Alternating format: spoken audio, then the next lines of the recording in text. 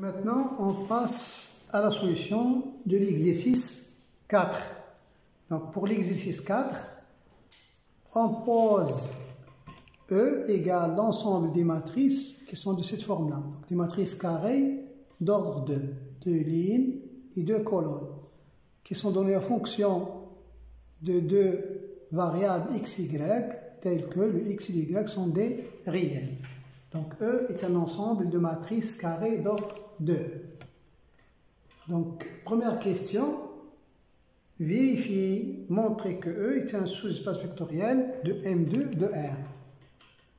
Donc d'abord, on a dit que toutes les matrices qui sont dans E sont d'ordre 2. Donc E est une partie de l'espace des matrices carrées d'ordre 2 à quotient réel, puisque les x, y sont dans R, donc les quotients qui sont là sont des réels. Donc, on peut se demander, puisque E est une partie de M2 de R, et on sait que l'ensemble des matrices carrées d'ordre 2 munies de l'addition entre les matrices, la multiplication externe d'une matrice par un scalaire, ça c'est un espace vectoriel. On sait que M2 de R, muni de l'addition entre les matrices, et la multiplication externe d'une matrice par un scalaire. Ça, c'est un espace vectoriel. C'est un espace vectoriel sur R. C'est un R espace vectoriel. Donc, puisque ça est une partie de M2 de R, est-ce que E est en plus un sous-espace vectoriel? Donc, pour le vérifier, on a deux, deux choses. On doit vérifier que E non vide ou tout simplement qu'il contient le vecteur nul de cet espace-là, qui est la matrice nulle, et que E est stable par combinaison linéaire. Donc, euh, on a le zéro de l'espace M2 de R, c'est-à-dire la matrice nulle, qui est égal à la matrice carrée d'ordre 2, dont toutes les questions sont nulles. Est-ce qu'il appartient à E, c'est-à-dire est-ce qu'il existe x, y appartenant à R tel que cette matrice-là est de la forme x plus y, x, x moins x plus y. Ce qui est équivalent, ce qui est équivalent à dire que x plus y égale 0, x égale 0, x égale 0, moins x plus y égale 0. Et donc, x égale 0, on remplace ici, on va voir aussi y égale 0. y égale 0. Donc, d'où, celui de 0 de M2 de R, il est de la forme 0 plus 0, 0, 0, moins 0 plus 0. Donc, il appartient à M, appartient à, à grand E. On aurait pu, sans écrire ça, direction écrire ça sous cette forme-là et dire que ça, il appartient à E. Deuxième chose, donc soit deux vecteurs de E, c'est-à-dire deux matrices M de la forme x plus y, x, x moins x plus y, M', une autre matrice de la forme x' plus y prime, x prime, moins x plus y prime. Donc, toutes ces matrices-là, on les prend dans E. Et alpha, bêta appartenant à R, puisque là, on travaille dans un espace vectoriel euh, sur R. Donc, on va calculer alpha.m plus bêta point M'. Ça, c'est la multiplication externe d'une matrice par un scalaire. Ça, c'est l'addition entre les matrices. Donc, ça, par définition de la multiplication externe, alpha m, ça va être alpha fois x plus y, alpha fois x, alpha fois x, alpha fois moins x plus y plus l'addition entre les matrices. Là, ça va faire bêta fois x' plus y'. bêta x', bêta fois x', bêta fois moins x' plus y'. Et c'est égal, en utilisant l'addition entre les matrices, donc ce coefficient plus celui-là, celui-là plus celui-là, ainsi de suite. Ça fait alpha x plus y plus bêta x' plus y'. Là, ça fait alpha x plus bêta x'. Là, c'est alpha x plus bêta x'. Et là, c'est alpha moins x plus y plus bêta moins x' plus y'. Ensuite, on a le résultat suivant. Donc, si on regarde cette matrice-là, si on pose, ça c'est un x seconde, un x seconde. Donc, alpha point m plus bêta point m prime va être de la forme. Là, c'est un x seconde. Là, on a aussi un x seconde. Et là, on va regrouper alpha x plus bêta x prime, c'est-à-dire alpha x plus bêta x prime. Ça va être alpha x plus bêta x prime plus alpha x plus bêta plus alpha y plus bêta y. Là. Et là en bas, on va avoir alpha moins x plus bêta moins x prime. C'est-à-dire on va avoir moins alpha x plus bêta x et alpha y plus bêta y prime. Alpha y plus bêta y prime en écrivant ça en appelant y seconde. Là, vous avez y seconde. Donc, tout ça, ça s'écrit sous la forme x seconde plus y seconde, x seconde. Là, vous avez x seconde. Là, vous avez moins x seconde plus y seconde. Donc, ça appartient à E. Il a la même forme des matrices qui sont dans E. Donc on vient de montrer que E est stable par combinaison linéaire. Donc cette matrice-là, pour tout vecteur M N' dans E, la combinaison alpha.n plus bêta N', il est aussi dans E. D'où,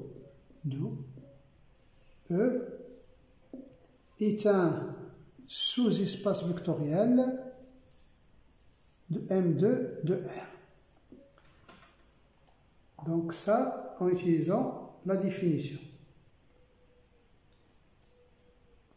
Ensuite, la deuxième question, vérifie que la famille, va poser F, formée par les deux matrices, formée par les deux matrices J, avec I, c'est la matrice identité, d'ordre 2, J, c'est la matrice 1, 1, 1, moins 1. Donc, vérifiez que cette famille-là est une base de 1. Donc, pour quel que soit M appartenant à E, on a, il existe Y, XY appartenant à R, tel que la matrice M, il s'écrit. Donc, X plus y, x, x moins x plus y. En séparant ce qui est en x et ce qui est en y, on peut écrire ça sous la forme de somme de deux matrices. Ça va faire x, x, ici on a un x, et là on a un moins x, plus ce qui est en y, là on a y, là on a 0y, là on a pas on a 0y, et là on a y. Donc ça, en utilisant la définition de l'addition entre les matrices, ça plus ça, on retrouve ça. on sépare, on retrouve ça. C'est égal. Là, en utilisant la définition de la multiplication externe, là vous avez x fois 1, x fois 1, x fois 1, x fois moins 1. Donc ça, c'est la même chose que la matrice x point 1, 1, 1, moins 1. C'est la définition de la multiplication externe d'une matrice par un scalaire. Plus, la même, la même chose, c'est l'addition avec la matrice y point. Là, c'est fois 1, là c'est fois 0, là c'est 0, là c'est 1. Donc ça, c'est de la forme x point la matrice J plus y point la matrice I. Donc on vient de vérifier que tous les éléments de E, c'est-à-dire tous les vecteurs de E, s'écrivent sous cette forme-là. Donc combinaison linéaire de ces deux matrices-là. Ce qui signifie là que la famille IG est une famille génératrice de E. Il va falloir ensuite vérifier qu'il est libre pour qu'il soit une base de E.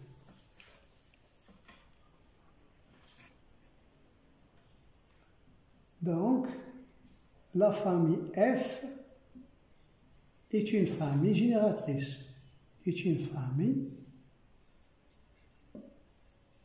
génératrice de E. Et si alpha bêta appartenant à R avec la combinaison alpha J ou bien alpha I plus bêta J égale 0, on va montrer que alpha égale bêta égale 0. Au lieu de prendre alpha bêta, on peut prendre XY. Et si XY appartient à R, avec x, g plus y, i égale 0, la matrice nulle, qu'est-ce qu'on va avoir On va avoir cette égalité est équivalente. X, j plus y, i, c'est déjà calculé. Ça, c'est égal à ça. Ce n'est autre que la matrice x plus y, x, x moins x plus y, égale la matrice nulle. Ça, c'est le zéro de l'espace dans lequel on travaille. Et ça, c'est équivalent. Tout de suite, là, vous avez x égale 0. Et là, ça veut dire que x plus y est égal à 0. Ce qui est équivalent, x égale 0. Lorsque x égale 0, donc le y aussi est égal à 0. Ce qui veut dire que la famille, la famille f est libre la famille F est libre. Donc, euh, la famille F est libre. Par suite, c'est une base de E. Et la dimension de E est égale donc à 2.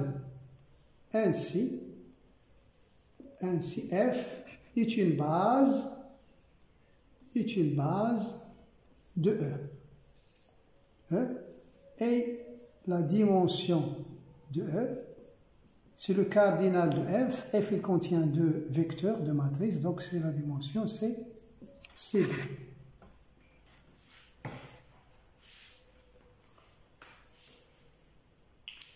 On aurait pu, pour montrer que E est un sous-espace vectoriel, on aurait pu utiliser ce calcul-là, ce calcul-là, prendre un une matrice de E, un vecteur de E, écrire qu'il est égal à cette matrice, égal à cette matrice-là, on fait ce calcul-là, et on arrive ici. Et lorsqu'on arrive ici, ça veut dire quoi? Ça veut dire, euh, on aurait donc pu répondre à la deuxième question, la première question et la deuxième question en même temps. On aurait pu faire écrire que euh, E, d'après ce calcul-là, c'est vect vecteur des deux matrices I et J, puisque tous les éléments de E sont combinaisons linéaires de I et J. Et donc ça, c'est automatiquement un sous-espace vectoriel de E. On aurait pu faire ça, faire ce calcul-là pour répondre à la première question. Et en même temps, ce calcul-là nous ramène au fait que IJ est une famille génératrice. On aurait pu gagner du temps En faisant ça, il reste à vérifier que c'est une famille libre, c'est ce qu'on a fait après. Troisième question. Donc en calculant g carré, donc on va calculer g carré. g carré, donc c'est la matrice 1, 1, 1 moins 1 qui multiplie cette même matrice. C'est égal. Donc en faisant le produit de G avec elle-même, G carré c'est J, J fois J, c'est la matrice G fois G. Donc ce produit-là, donc sur des brouillons, on fait comme tout à l'heure, comme tout à l'heure pour faire le produit. Donc ça fait donc euh, cette ligne avec cette colonne, donc 1 fois 1 plus 1 fois 1, ça fait 2. Cette ligne, donc avec cette colonne-là, ça fait 1 fois 1, 1 plus 1 fois moins 1, ça fait 1 plus moins 1, ça fait 0. Ensuite, cette ligne avec cette colonne 1 fois 1 et la moins 1 fois moins 1, ça fait 1 moins 1, ça fait 0. Et ensuite, cette ligne avec cette colonne, ça fait 1. Moins 1 fois moins 1, ça fait 1. 1 plus 1, ça fait 2.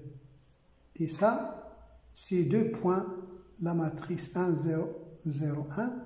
C'est-à-dire, c'est deux fois la matrice I. C'est deux points, la matrice I. Donc, en faisant ce produit-là, on voit que G carré est égal à 2i. Donc, soit M, un élément de E, donc il existe des coefficients uniques x, y appartenant à R, puisque IJ est une base de, de E, telle que la matrice M, il va s'écrire, donc il va s'écrire xj, si on regarde cette écriture-là, il va s'écrire y.i plus x.j. Donc ça pour une matrice M appartenant à E. Donc pour montrer que le produit de deux matrices de E est une matrice de E, on va prendre une autre matrice, L' appartenant à E. Donc il existe x', y' appartenant à R, tel que M', il va s'écrire y', plus x', Donc on va faire le produit M fois M'. Donc ça va faire donc y.i plus x.j que multiplie la matrice y'.i plus x'.j.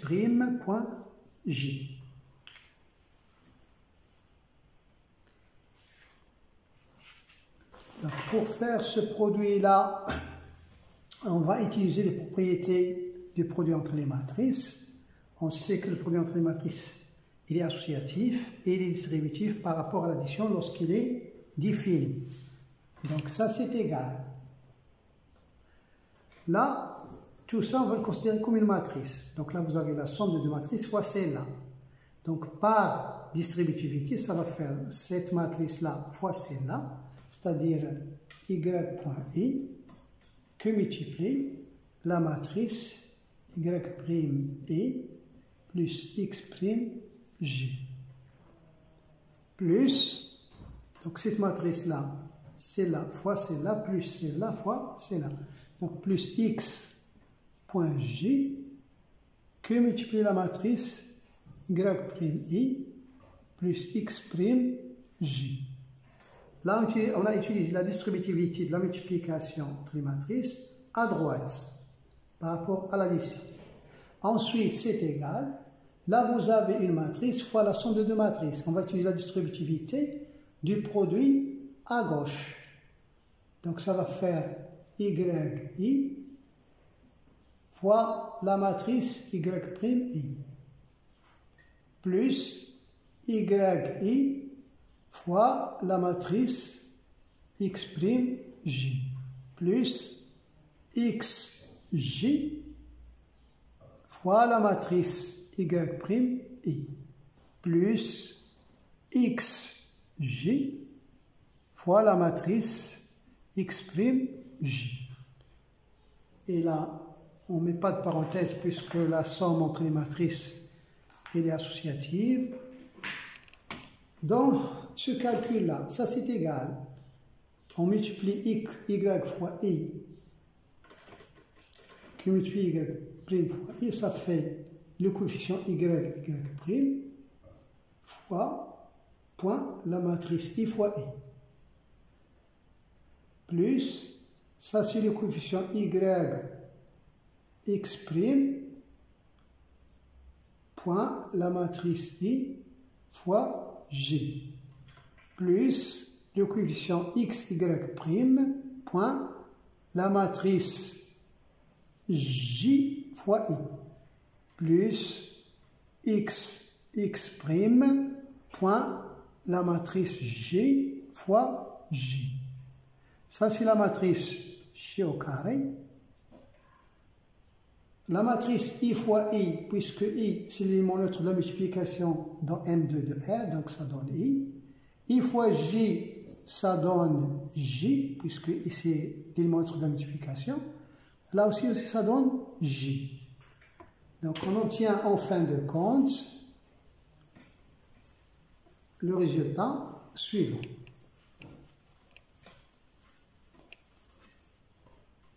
Donc, on obtient ici y, y',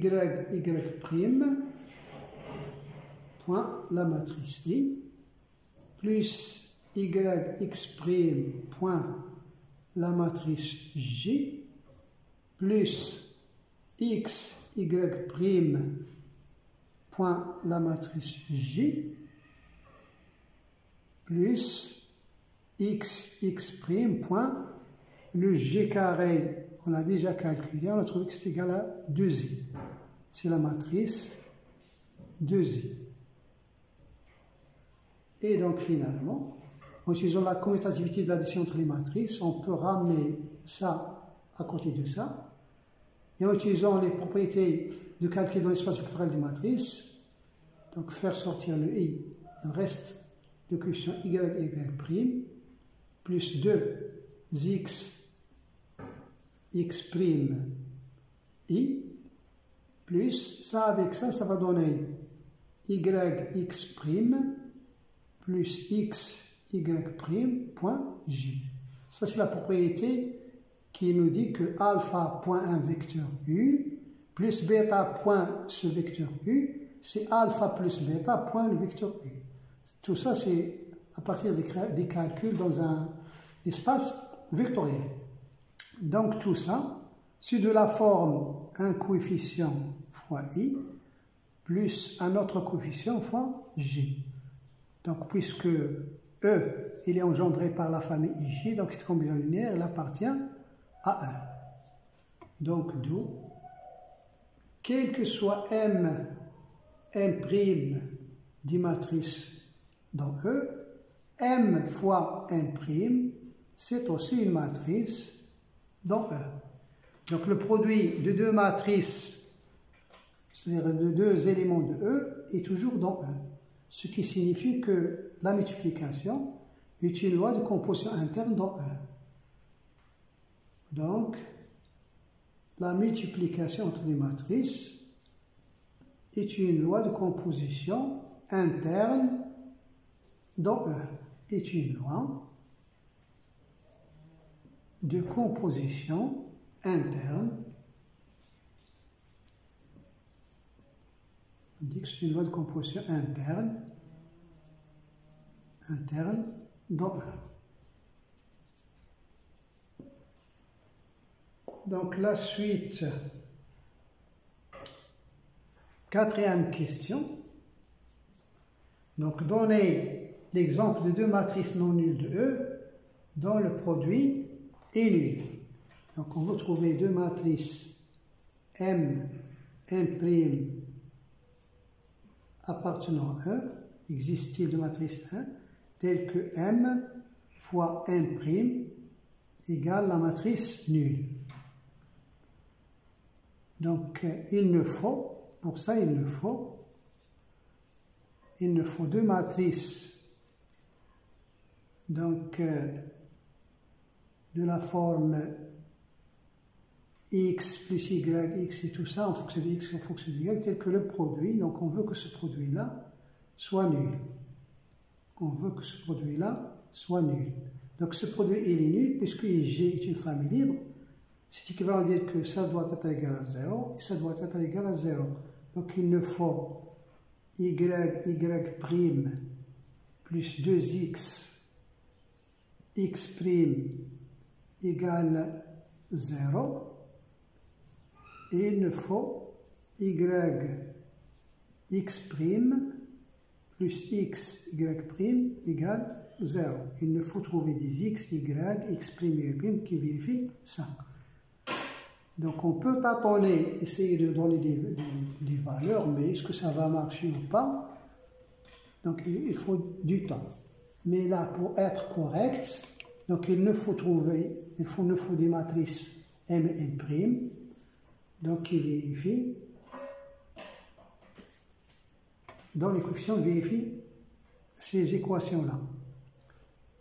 Donc, si on prend ça, donc de c'est équivalent, ou bien,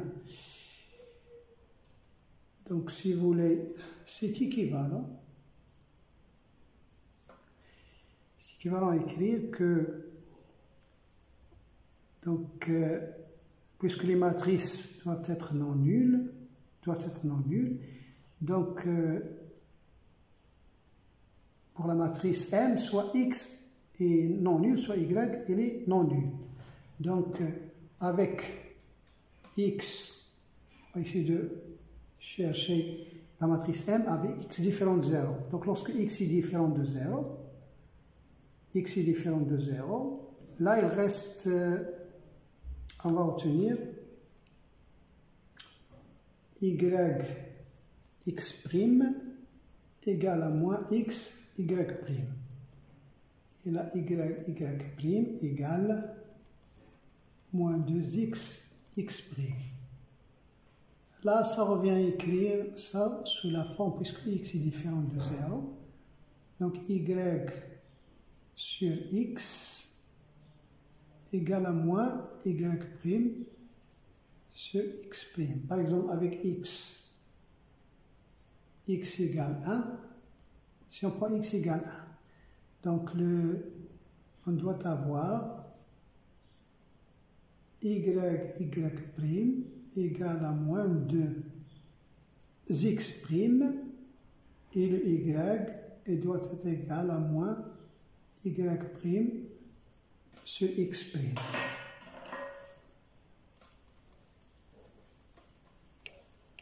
si on prend x égale à 1, on trouve donc ça, ce qui veut dire qu'on remplace ici ça va faire y' fois moins y' sur x' égale à moins 2 x'.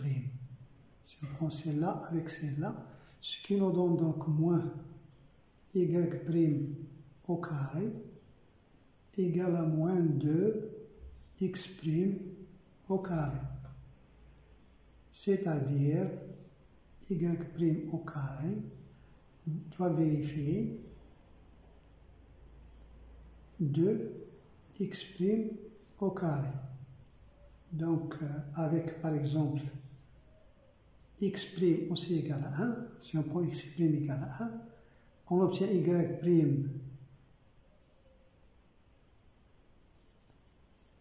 donc avec x' égale 1, on obtient y' au carré égale 2. Donc on peut prendre, on peut prendre y' égale par exemple racine de 2, égale racine de 2, ou moins racine de 2. Donc, lorsqu'on prend ces données-là, donc le y va être égal. Le y c'est moins y', c'est-à-dire moins racine de 2, sur x' qui est égal à 1, ça fait moins racine de 2. Donc, avec les matrices M égale, égale donc X plus Y. Pour la matrice M, donc ça fait X plus Y. On va avoir 1 plus 1 moins racine de 2. Là, ça fait X. Là, ça fait X. Et là, ça fait moins X plus Y. Et la matrice M', donc ça va être le X' c'est 1, le Y' c'est racine de 2, donc ça va faire 1 plus racine de 2, 1, 1. Là, c'est moins X' plus. Donc, avec ces deux matrices-là, avec ces deux matrices-là, on a m fois m' égale la matrice nulle. Et m, m', ce sont bien des éléments de E.